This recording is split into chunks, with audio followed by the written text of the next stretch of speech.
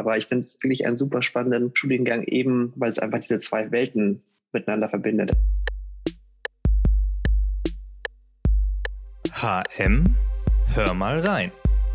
Der Podcast der Studienberatung. Zehnte Folge zur Studienfakultät Mukdai und zwei neuen Studiengängen. Ja, liebe Zuhörerinnen und Zuhörer, herzlich willkommen zu einer weiteren Folge. Dieses Mal mit äh, Frau Professor Dr. Gudrun Socher und Dr. Sebastian Planck von unserer neuen Studienfakultät Mukdai. Besonders interessant für alle, die sich jetzt gerade überlegen, ähm, ein Studium zu starten und sich vielleicht bewerben möchten an der Hochschule München in der jetzt laufenden Bewerbungsphase. Ähm, oder ähm, auch für äh, Studierende vielleicht, die sich überlegen zu wechseln. Möglicherweise, da haben wir jetzt auf jeden Fall zwei sehr spannende neue Studiengänge im Angebot und ich freue mich sehr, äh, mit Frau Professor Socher und Herrn Dr. Planck über diese beiden Studiengänge sprechen zu können. Ähm, hallo und äh, schön, dass Sie da sind. Hallo. Hallo. Schön, dass wir da sein dürfen. genau. Ähm, zwei Studiengänge gibt es an Ihrer neuen Studienfakultät. Wie heißen die denn? Also unsere beiden Studiengänge äh, heißen zum einen Informatik und Design und zum anderen Digital Engineering. Mhm. Und wie ist es dazu gekommen, dass Sie ähm, diese beiden Studiengänge jetzt neu gegründet haben? Die Hochschule München und sicherlich viele andere Hochschulen und Universitäten sind so aufgebaut, dass Studiengänge eher ähm, in, innerhalb einer Disziplin verankert sind und äh, sehr gut diese eine Disziplin ausbilden. Mit der digitalen Transformation ist es aber so, dass ähm, so ziemlich alle Disziplinen irgendwo auch noch so eine digitale Komponente dazu kriegen. Und wir möchten an der Hochschule München ähm, das aufgreifen, dass wir sagen, Fachlichkeit ist wichtig und eine Fachdisziplin ist wichtig, aber wir wollen eben so ein digitales Add-on oder so eine digitale Säule noch mit reinbringen. Deswegen haben wir jetzt eben zwei Studiengänge mit jeweils einer Fachdisziplin. Zum einen eben Design und zum anderen das Ingenieurwesen und äh, beim Ingenieurwesen eben diese digitale Komponente noch dazu, um eben gut auf die äh, Themen wie Industrie für Null oder andere vorbereitet zu sein. Mhm. Ich glaube, so ein zweiter Aspekt ähm, zur Historie dieser neuen Studiengänge ist eben auch zu sagen, ja, ich meine, die großen gesellschaftlichen Herausforderungen werden immer komplexer. Ja, also ich glaube, wir können nicht einfach in einer, aus einer Disziplin heraus ähm, den Klimawandel oder die Digitalisierung oder gesellschaftliche Ungerechtigkeiten und so weiter ähm, bestreiten, sondern wir müssen einfach mehr vernetzt denken. Ja, und das ist ja ein Trend, der gesellschaftlich immer weitergeht, durch die Digitalisierung auch heraus. Und das möchten wir einfach gerne mit diesen Studiengängen auch abbilden, zu sagen, okay, wir müssen vernetzter denken, weil die, Komplex, äh, die Komplexität der Probleme immer größer wird. Und so muss es quasi auch im Studium beigebracht werden, ja, dass wir einfach vernetzter denken und über den Tellerrand auch blicken können. Mhm. Ähm, ja, auf jeden Fall ähm, eine zukunftsgerichtete äh, Sichtweise. Vielleicht gehen wir mal ähm, auf, die, äh, auf die einzelnen Studiengänge so ein bisschen genauer ein, was die jeweils ausmacht. Äh, Informatik und Design ist eine spannende Kombination, auf die man jetzt vielleicht erstmal nicht so kommen würde. Ähm, was, hat, was hat das denn miteinander zu tun? Das hat ganz, ganz viel miteinander zu tun.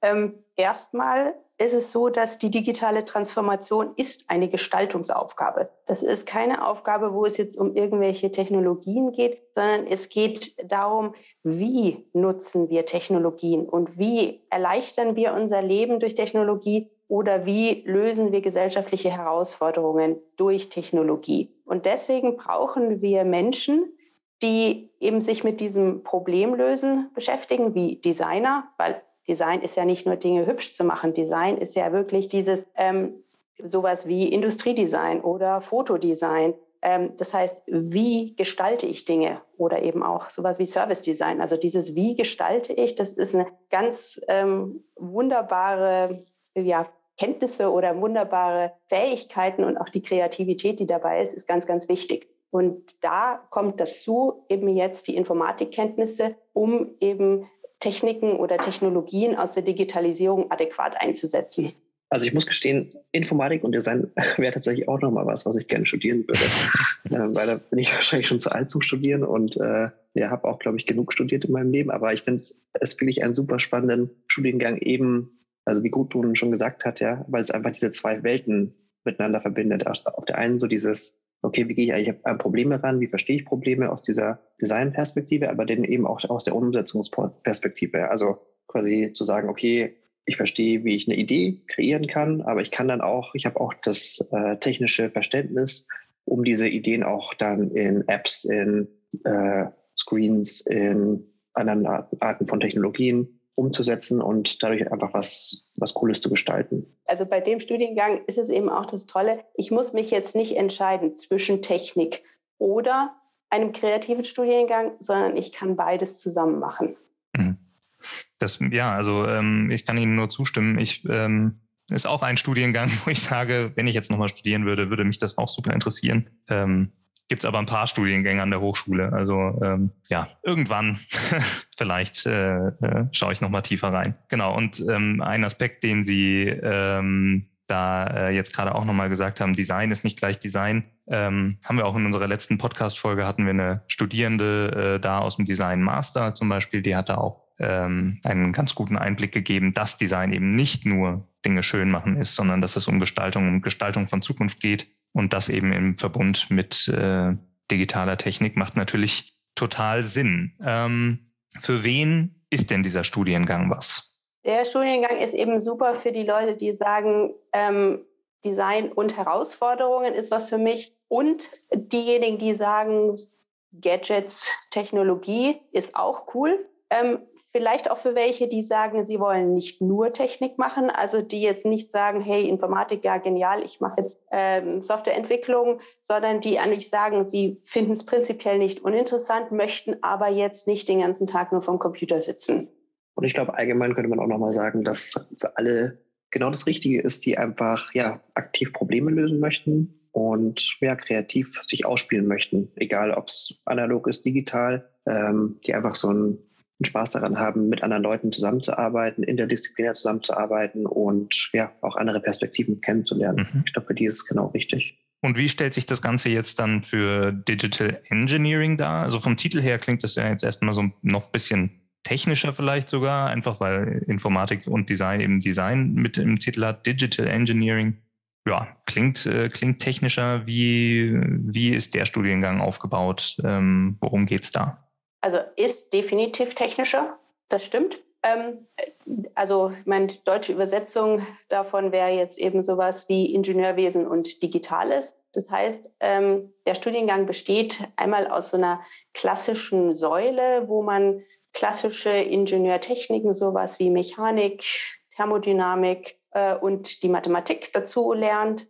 Dann gibt es eine Säule relativ klassische Informatik, also das heißt, wie entwickle ich Software, was gibt es für Prozesse dazu. Dann natürlich Themen wie künstliche Intelligenz und Robotik. Und zwischendrin, also zwischen dieser eher ingenieurwissenschaftlich geprägten Säule und der Informatiksäule, gibt es eben noch diese explizit genannte Digital Engineering Säule, wo es darum geht, auch projektbasiert sich anzuschauen, welche Rolle spielt die Digitalisierung im Ingenieurwesen. Also das heißt, wie können wir smarte Automatisierung machen? Wie können wir Produktionsprozesse äh, smarter und besser machen? Ähm, ja, und vieles mehr in die Richtung. Ich denke, dass eben auch so diese, dieses Projektbasierte einfach sehr wichtig ist in diesem Studiengang. Also es ist natürlich sehr, also technischer als Informatik und Design, aber ich glaube eben der, der Impact, den man danach, also mit einem Digital Engineering Abschluss haben kann, ist, glaube ich, wesentlich ähm, größer, komplexer, weil es einfach sehr stark in die Industrie reingeht ja, und dort einfach Kompetenzen mitgegeben werden, die einem helfen oder einer helfen, ähm, ja, viele, viele Fragestellungen auch in diesem Bereich mit anzukurbeln. Also geht es um Ressourcenoptimierung, um Effizienzsteigerung, um Automatisierung, ist ja alles miteinander verwoben. Und ich glaube, gerade im Bereich so der Energiewende und ja, der, des Klimawandels sind einfach sehr, sehr viele große Fragestellungen, die innerhalb des Studiums dann auch, ähm, ja, auf die man vorbereitet wird. Mhm. Ähm, wenn ich mir so unsere, unsere Bachelorstudiengänge, äh, unser Angebot so angucke, ähm, da finde ich den, äh, immer wie so ein bisschen in einem, in einem Triumvirat, weil es gibt äh, Wirtschaftsingenieurwesen, da haben sie die Verbindung aus Wirtschaft und, und eben der, der Technik, dann haben sie Wirtschaftsinformatik, die Technik, aus, äh, die, die Verbindung aus Wirtschaft und, und ja, Informatik eben. Äh, und jetzt haben sie eben Digital Engineering, da haben sie die Verbindung aus Ingenieurwissenschaft und äh, dem Informatikanteil oder dem digitalen Anteil. Kann man das so sagen? Ja, das ist sehr, sehr gut zusammengefasst so. Okay. Ähm, jetzt hatten Sie gerade, Herr Blank, schon angesprochen, äh, es geht da ähm, stark in die, äh, in die Industrie rein und so. Ähm, das sind jetzt beides Bachelorstudiengänge erstmal. Aber was sind denn so die äh, Berufsfelder, in die, äh, in welche Richtung wird da ausgebildet quasi? Also ich glaube, Absolventinnen und Absolventen von Digital Engineering können, glaube ich, einfach sehr, sehr gut oder haben sehr, sehr gute Berufschancen ja, oder Karriereoptionen danach, ähm, weil sie einfach in, an dieser Schnittstelle zwischen Digitalisierung und Ingenieursprozessen ähm, ja, eigentlich überall unterkommen können. Und ich meine, durch die Digitalisierung entsteht dort einfach oder besteht schon ein, ein großer Bedarf an ja, nicht vorhandenen Fach, äh, Fachkräften, die gerade diese Schnittstellenfunktionen ähm, leisten können. Aber es ist wirklich offen, wo man ähm, in der Industrie unterkommen kann, ja, sei es in der Automobilindustrie, sei es in der ähm, Flugzeugindustrie, sei es ähm, aber auch in, der, in den erneuerbaren Energien. Ja. Ich glaube, dadurch, dass die Digitalisierung diese Prozesse immer stärker, gerade in Deutschland, ähm, voranbringt und voranschreiten lässt, ähm, ist ein sehr großer Bedarf an, an, an solchen Fachkräften. Mhm. Wie planen Sie denn den Praxisanteil in den beiden Studiengängen? Also, weil es ja ähm, zentraler Bestandteil aller unserer Studiengänge, dass sie eben großen Fokus legen auf praktische Anwendungen und so. Und jetzt sind das zwei ganz neue Studiengänge und man kann eben aus der Praxis, sage ich jetzt mal, aus der Studiengangspraxis noch nicht berichten. Aber wie ist es denn geplant, da die Praxisnähe herzustellen? Also ich meine, zentral an äh, einer Hochschule für angewandte Wissenschaften oder ehemals Fachhochschule ist eben, dass es wirklich immer sehr praxisnah ist. Wir haben ein Praxissemester, das heißt, es ist bei beiden Studiengängen jeweils das fünfte Semester, dass die Studierenden komplett in einem Unternehmen oder in einer NGO verbringen. Und ähm, außerdem haben wir sehr gute Kontakte und das haben, die haben uns auch jetzt bei der Studiengangskonzeption unterstützt äh, zu vielen Unternehmen im Münchner Raum, ähm, sowohl aus dem Designbereich als auch äh, aus dem Industriebereich. Und da haben uns die Unternehmen alle signalisiert, ja toll, macht das, ähm, wir bringen uns gerne ein. Das heißt, äh, sowas wie Gastvorträge oder eben Praxisbeispiele, die kommen einfach in den Lehrveranstaltungen vor zusätzlich zum Praxissemester. Mhm. Und ich meine, was halt eben auch noch durch alle Studiengänge sich durchzieht, sind eben, ähm, also wie vorher schon erwähnt wurde, so dieser, dieses projektbasierte Lernen. Ja, uns ist wirklich wichtig, dass eben nicht nur die Theorie, also Theorie ist auch schon wichtig, ähm, vermittelt wird, aber eben diese Anwendung auch von der theoretischen Erkenntnis oder von dem Wissen auch eine große Rolle spielt. Also bei Informatik und Design zum Beispiel haben wir in jedem Semester immer ein Projektmodul, wo tatsächlich an, anhand von gegebenen Challenges oder Projektpartner oder mit Projektpartnerschaften ähm, wirklich an, an realen Problemstellungen auch gearbeitet wird. Ja. Und so soll wirklich auch dieser Praxisbezug noch viel deutlicher ins Studium reinkommen, aber eben auch bei den Studierenden ankommen, ja, dass wir sagen, okay, ihr lernt wirklich an ähm, an wirklichen Challenges und ähm, lernt dadurch einfach viel besser auch. Und es macht viel mehr Spaß, tatsächlich was Wirkliches zu behandeln. Mhm. Jetzt ähm, haben wir über beide Studiengänge ein bisschen was gehört. Jetzt äh, bin ich als Zuhörerin oder Zuhörer, bin ich jetzt interessiert und würde mich gerne bewerben. Ähm, was muss ich denn da jetzt beachten? Äh, vielleicht können wir das erst für Informatik und Design und dann für Digital Engineering besprechen, weil das ist ja ein bisschen unterschiedlich. Genau. Also erstmal gilt für beide Studiengänge, die Bewerbungsfrist ist leider erst etwas später als jetzt die anderen Studiengänge. Das liegt an dem insgesamten Genehmigungsverfahren der Studiengänge. Für beide Studiengänge kann man sich ab dem 21. Juni 2021 bewerben. Also das heißt, ähm, es ist noch so ein ganz bisschen Zeit, aber die Zeit kann man ja auch nutzen, die Unterlagen schon mal zurecht zu, zu rücken und alles mal schon mal sich äh, äh, zu, herzurichten. so, dann für Informatik und Design gibt es ein sogenanntes Eignungsfeststellungsverfahren. Das ist, weil es eben ein Studiengang ist, der ähnlich wie das Design oder Architektur ist, da wir auch sicherstellen wollen, dass es Leute machen, die tatsächlich echt dafür brennen und das wirklich machen wollen und eben nicht das nur einfach mal so zum Spaß ausprobieren wollen. Ähm, für das Eignungsfeststellungsverfahren wollen wir, dass die Bewerberinnen und Bewerber ein äh, sogenanntes digitales Artefakt erstellen. Also das jetzt, hört sich jetzt komplizierter an, als es ist. Wir wollen gerne sehen, wie die Bewerberinnen und Bewerber kreativ arbeiten. Und die Aufgabe ist, für vier verschiedene App-Beispiele, beziehungsweise eins aus vier Beispielen, ein Screen Design zu erstellen. Das ist auf unserer Webseite, steht es und da steht auch, was man tun soll. Und dann gibt man eben dieses Screen Design ab. Und wir freuen uns auch, wenn die Bewerberinnen und Bewerber immer noch so, so einen kurzen Motivation bzw. So, so einen Satz über sich selber schreiben. Mhm. Nachdem man das abgegeben hat, gibt es dann ähm, ab dem 16. Juli noch ein kurzes Gespräch über Zoom. Das wird ein Gruppengespräch sein, hoffentlich entspannte und nette Atmosphäre.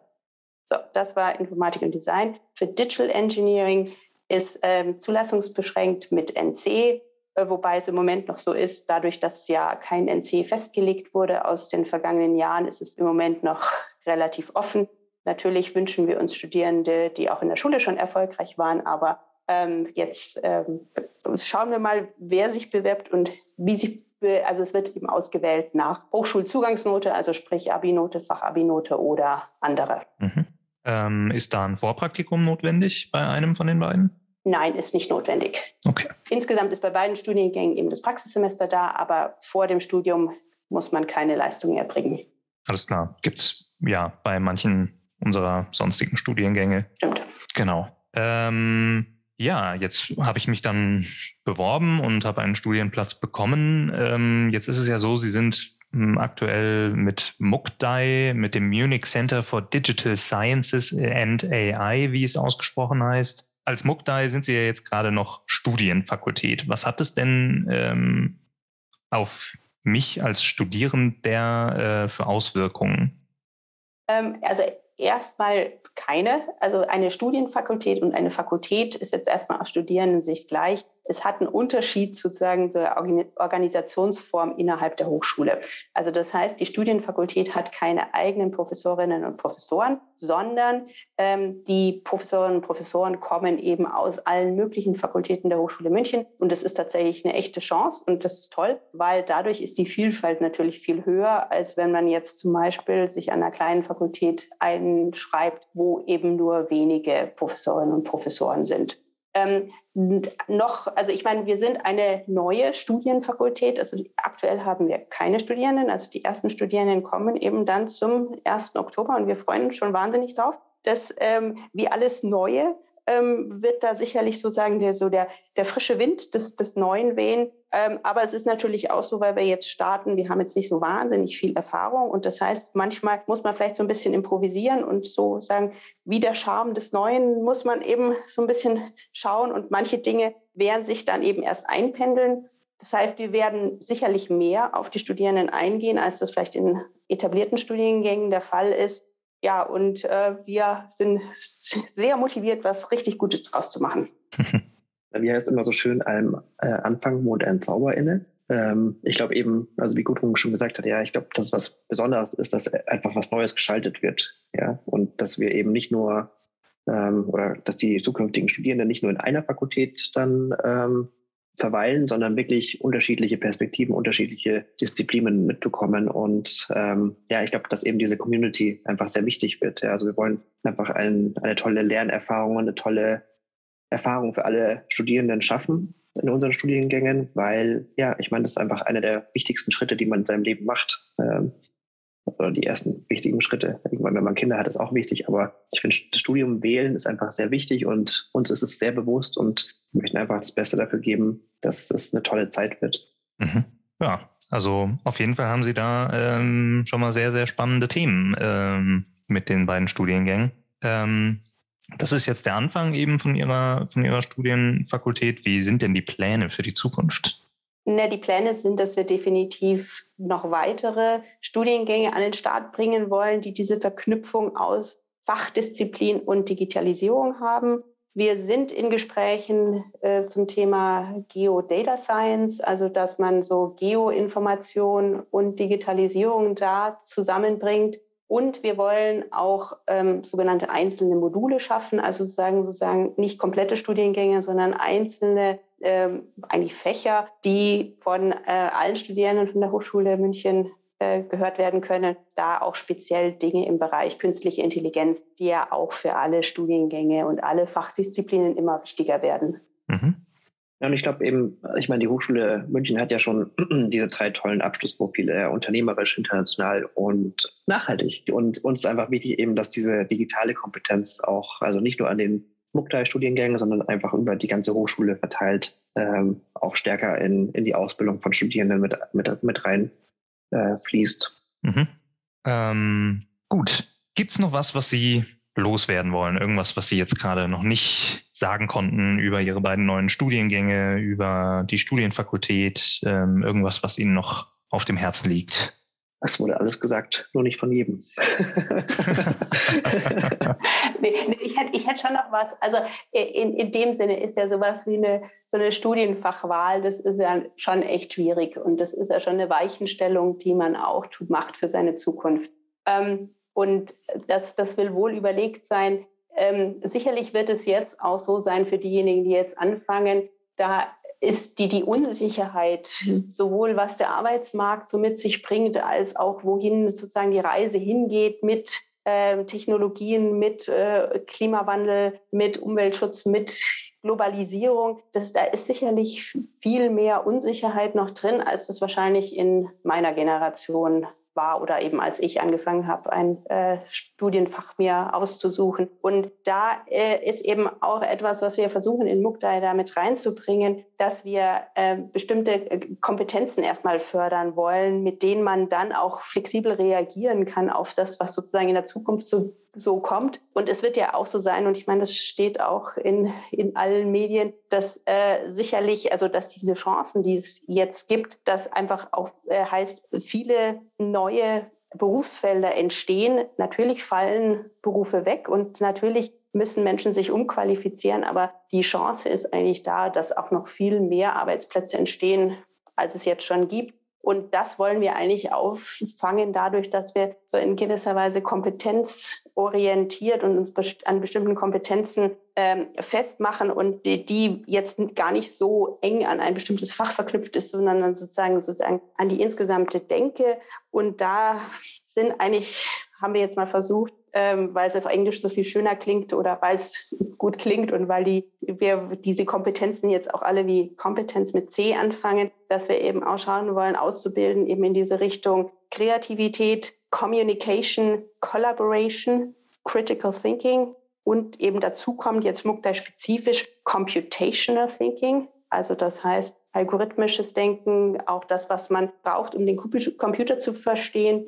Und als letztes die sogenannte Capability. Das heißt, das ist eben die Fachkompetenz, weil jetzt äh, Digitalisierung alleine macht keinen Sinn. Es macht einfach nur Sinn, wenn man das zusammen mit klassischen Herausforderungen macht und mit, mit Themen, die einfach wichtig für die Menschen sind. Das sind die sechs Cs, wenn ich jetzt, äh, wenn ich das richtig äh, im Kopf habe, ne? Ja, auf genau. die sie so ihr, ihr, ihr ähm, System aufbauen. Ja, genau. Klingt auf jeden Fall, ja, ähm, nach, äh, also auch wenn es jetzt noch keine Erfahrungen darüber gibt, weil die Studiengänge neu sind, klingt das aus meiner Warte ähm, schon so, als wäre das auf jeden Fall zukunftsgerichtet und ähm, ja, ich äh, kann jedem Studieninteressierten, ähm, jeder Studieninteressierten nur ans Herz legen, sich zumindest diese beiden Studiengänge mal anzugucken. Genau. Kommen Sie zu unserer Webseite, schauen Sie die an. Wenn Sie irgendwie Fragen haben, gerne auch eine E-Mail schicken. Wir sind im Moment noch so klein, dass wir auch E-Mails äh, alle beantworten. Genau.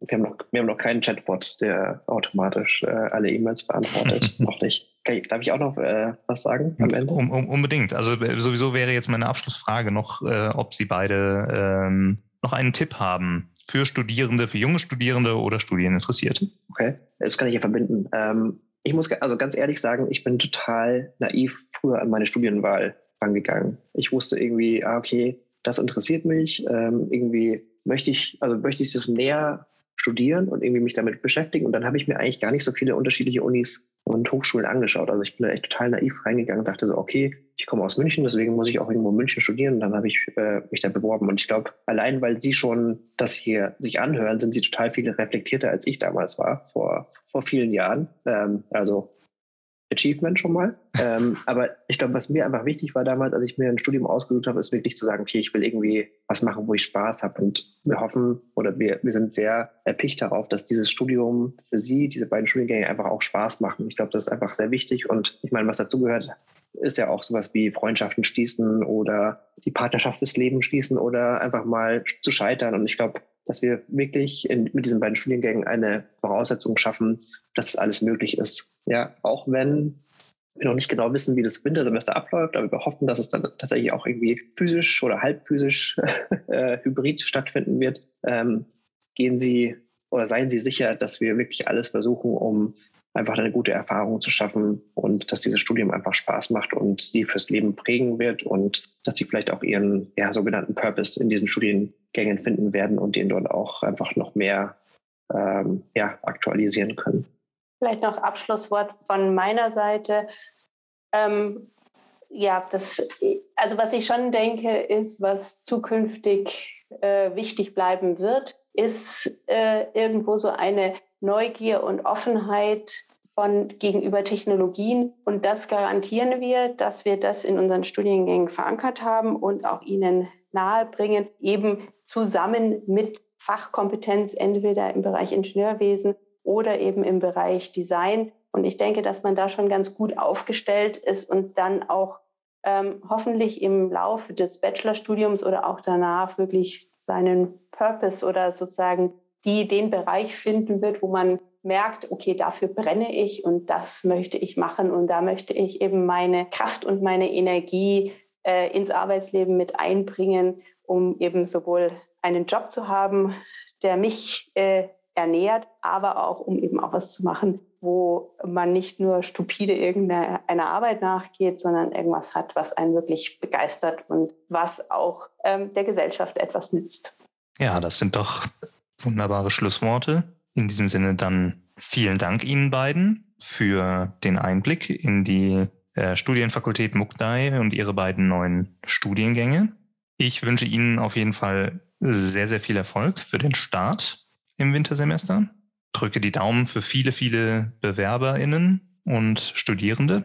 Und ja. Vielen herzlichen Dank fürs Gespräch. War sehr spannend. vielen, vielen Dank, dass wir dabei sein durften und allen Zuhörerinnen und Zuhörern noch einen schönen Tag. HM, hör mal rein. Der Podcast der Studienberatung.